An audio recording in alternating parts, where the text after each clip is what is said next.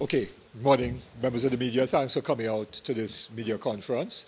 First of all, on behalf of the Movement for Social Justice, I want to say to the Muslim community in particular, Eid Mubarak, greetings on the occasion of Eid al-Fitr, on the end of the holy month of Ramadan, and that we hope that the fasting which you endured during the month of Ramadan will strengthen your spirit and your resolve to continue to make Trinidad and Tobago a better, a better country, a better society.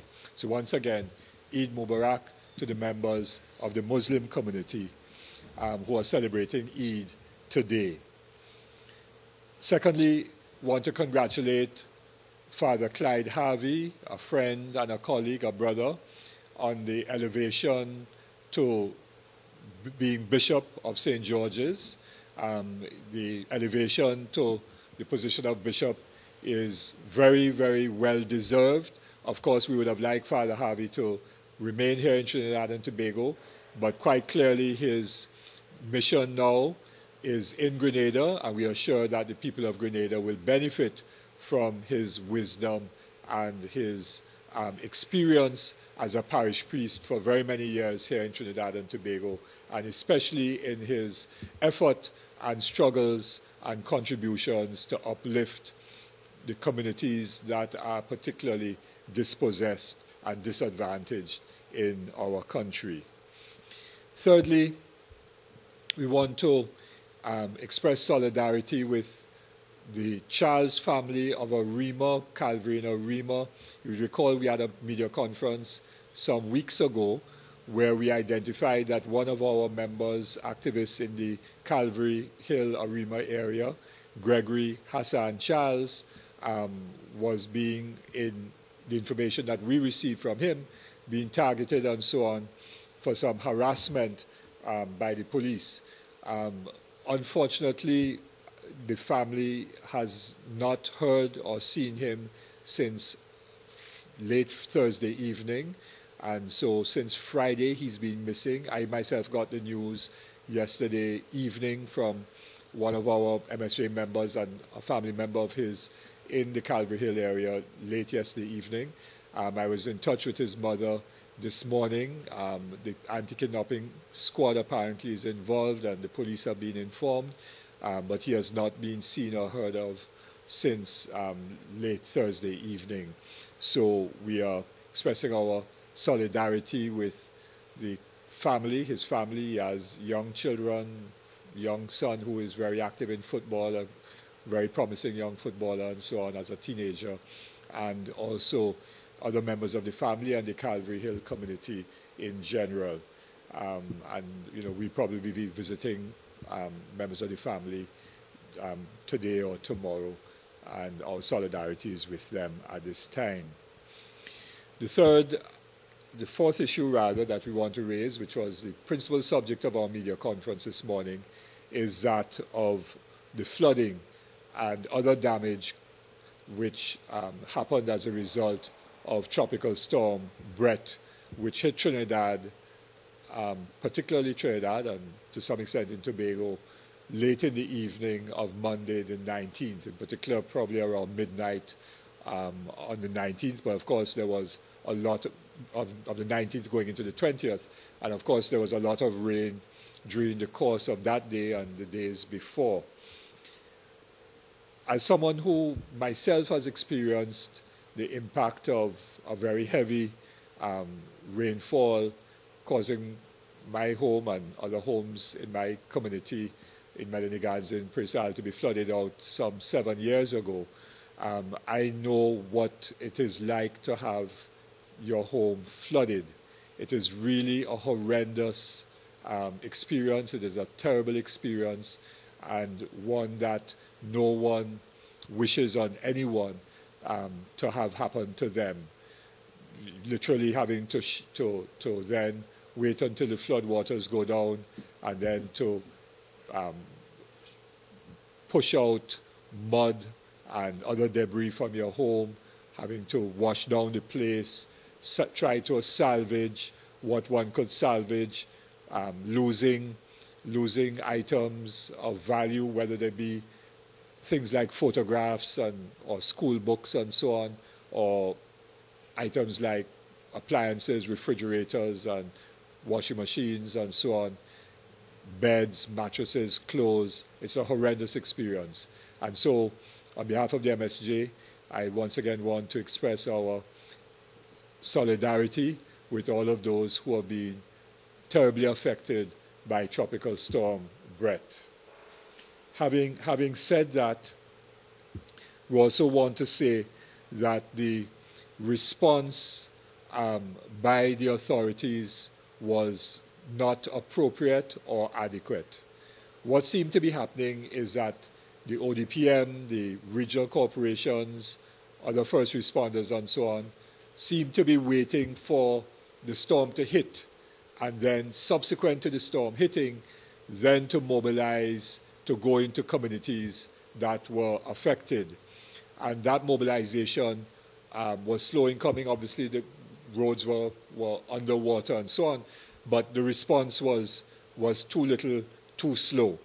In our view, what should have happened as soon as the storm possibility had been indicated by the Met Office, which would have been sometime late on Friday, the central government, Minister of Local Government, Minister of Works and Transport, as they did some months ago, getting large contractors in the country, you'd recall seeing cleanup campaigns with, you know, many dozens of large vehicles, trucks, um, backhoes, all kinds of vehicles and so on, parked up on the side of the road, some doing things, some not doing anything, and anything at all.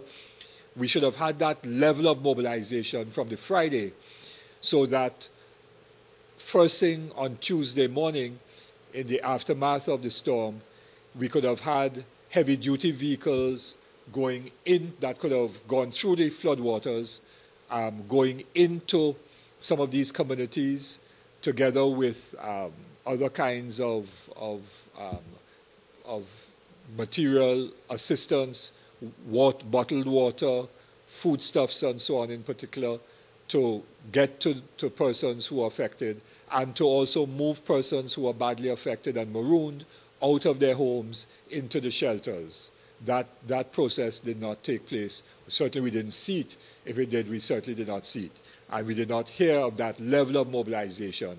So what we want to see is not a kind of gallery mobilization which takes place, you know, before anything happens. We want to see that same level of commitment and mobilization in the immediate period before a, a disaster like a storm hits um, so that the response can be almost instantaneous to move people out of their homes who are badly flooded out and so on, and also to bring relief, be it food and water, to those who um, cannot provide those things for themselves.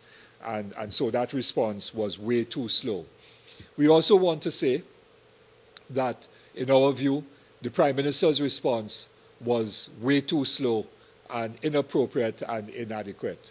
Um, he could have left Tobago on um, early Monday morning when the storm was, was being developing um, south, southeast of Trinidad, and he could have then been come into Trinidad and taken charge of the situation in a very visible and direct way. And, and so the criticisms of persons feeling that at the highest level of government, there wasn't that concern and, and caring, those, those criticisms are well founded. Because even though he may have been in touch by phone or whatever in Tobago, in a situation like this, you needed to have all hands on deck from, from the highest level of government all the way down to the councillors in the various regional corporations.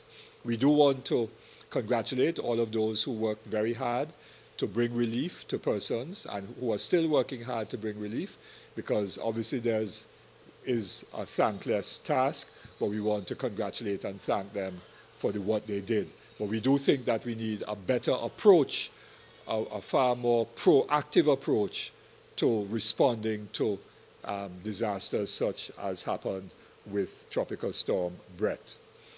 We also want to say that um, the response by the business community, some people have responded and citizens have been responding to, to the needs of citizens. Um, we also want to join the call made by others that citizens generally and the business community ought to be making significant contributions to persons who are being badly affected by the storm. It can't only be the government's responsibility to provide relief.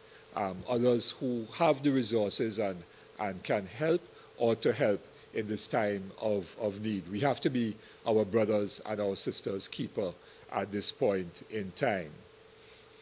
But there are two other major issues um, that, that have emerged um, from this disaster. One, of course, we have been well aware of for a long time, and I'll address that first.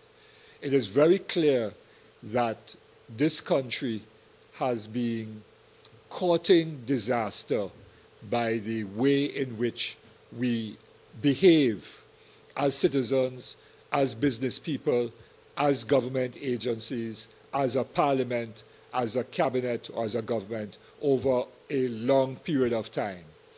So we litter, we dump stuff in rivers, and then we pretend as if um, it's not going to affect us, when in fact it does. Business people develop um, real estate um, areas, um, housing areas, without concern for the fact that they are blocking water courses. Others engage in construction of um, houses and, and commercial businesses and so on without any town and country approval, without regional corporation approval, without EMA approval. The EMA and Town and Country Planning Division also give approvals for activities which they ought not to give approvals for because the cumulative impacts of these developments um, are causing us to have more water runoff and therefore more flooding. We have quarry operators um, quarrying, some illegally and even those legally. And all of that is also impacting upon our natural environment and our ecosystems and aggravating problems such as flooding and so on when we have heavy rainfall. We, have, we had a government that constructed, started construction of the um, highway between Mon Desir and Penal and Debe. And that highway, in our view, that construction also has contributed to the flooding of that affected people in Penal, Debe, in, in the southern, that southern part of the country, in what is essentially the Oropouche Lagoon area, the Oropouche Basin area. Um, some people have said to me who got affected by the flooding, I got a call from um, one particular family on Tuesday morning indicating that for the second, only the second time in 40 years, and they live in Debe right on the main road, only the second time in 40 years have they been flooded out, once in 2014 and now in 2017. And they attribute that directly to the construction of the highway and other um, indiscriminate types of, of development.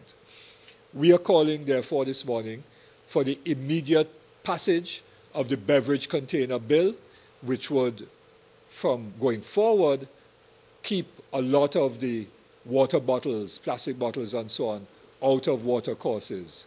We are calling on the EMA and the Town and Country Planning Division to rigidly enforce good and proper building and development practices and to begin to penalize those who have violated the law over the years. The impunity with which development takes place in this country that is resulting in this kind of, of disaster for our people must come to an end.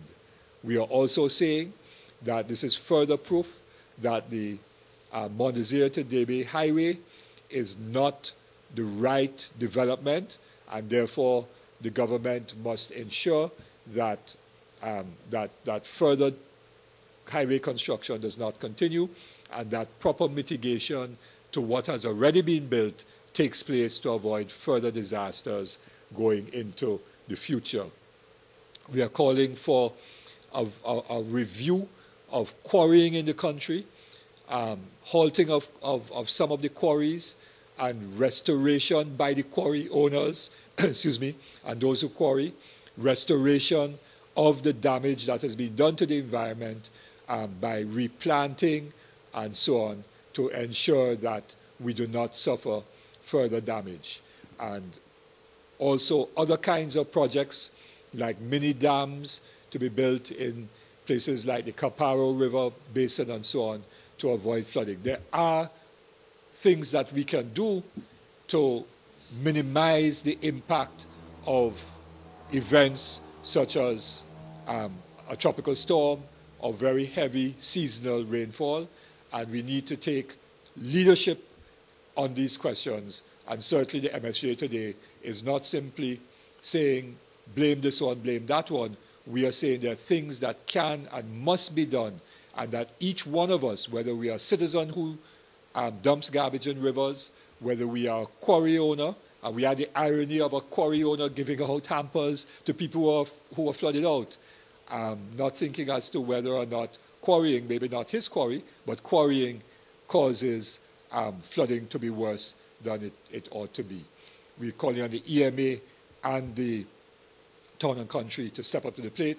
We're calling on the government, the parliament, um, to take serious action on these questions to ensure that going forward in the future, we can minimize the impacts. There will always be impacts because a tropical storm is what it is, a tropical storm. Um, but we need to try to minimize it. We need the building code to be um, passed and enforced so that persons can build their homes in accordance to standards that will avoid or minimize the possibility of things like roofs being blown off and so on. These are some of the measures that must, be, that must take place. Last but by no means least, there has been an outcome of this storm which has nothing to do with people's homes getting flooded or with um, roofs being blown off, businesses suffering losses and so on. And that is what is taking place at the level of the parliament by the two parliamentary parties, the PNM and the UNC. What took place in parliament on Friday with allegations and name calling and racism being thrown about and so on, that must stop. We are saying today that issues such as natural disasters, which affect citizens of Trinidad and Tobago, don't affect members of Party A or Party B. They affect citizens of Trinidad and Tobago. They don't affect Indians, they don't affect Africans, they don't affect Chinese or Europeans or whatever. They affect citizens of Trinidad and Tobago. And the politics of race must stop by the must be stopped by the UNC and the PNM. They are both guilty of that. There can be no, absolutely no um, petty party politicking over the suffering of people. People are suffering, and you don't play petty partisan politicking over that. It was disgusting. It was disgraceful. It was demeaning. And it was destructive. And the destruction of that kind of politics to the society and to the development of Trinidad and Tobago will make the destruction of Bret look like Dolly House um, activity. And that is the last point that we wish to make at this media conference this morning.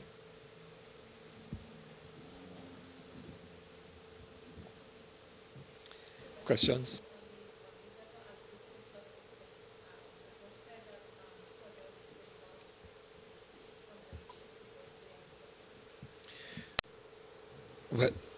If somebody is a squatter, um, then there may be, and their house was demolished, there may be an issue about how do you legally compensate somebody. I don't know. I'm not a lawyer. We, we haven't looked at that legal question.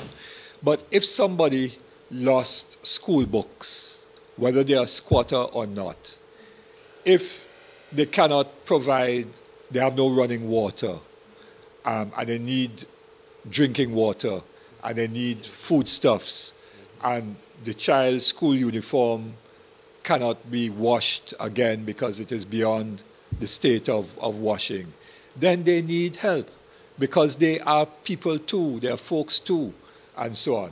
And that has to be addressed. The, the, the broader issue of squatting is, is another question which, which I can't deal with this morning, but there, we do have a major problem of housing and of land in this country. Um, and that will have to be the subject of a separate media conference.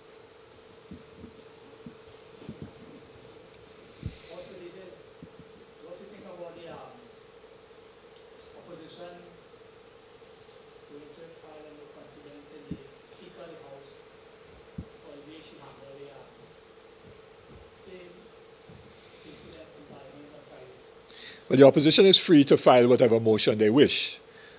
The Speaker's response was um, as a result of the behavior by both the opposition and the government. And so we are, I am speaking on behalf of MSJ to both the parliamentary parties. Their behavior was disgusting, disgraceful, demeaning, and destructive. And that is the focus that we have to to, to be on. The issue of the speaker is a side issue as far as we are concerned. The fundamental issue is the behavior of the parliamentary parties and engaging in, in, in race baiting and so on, which has no place in addressing the issue of problems that people have who are citizens of Trinidad and Tobago.